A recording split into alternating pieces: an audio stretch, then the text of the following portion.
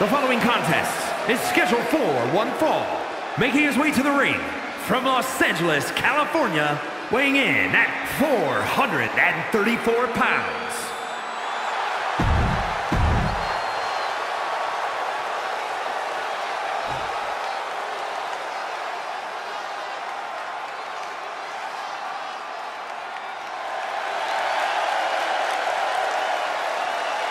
And his opponent from Long Beach, California, weighing in at 215 pounds, the NXT Action Champion,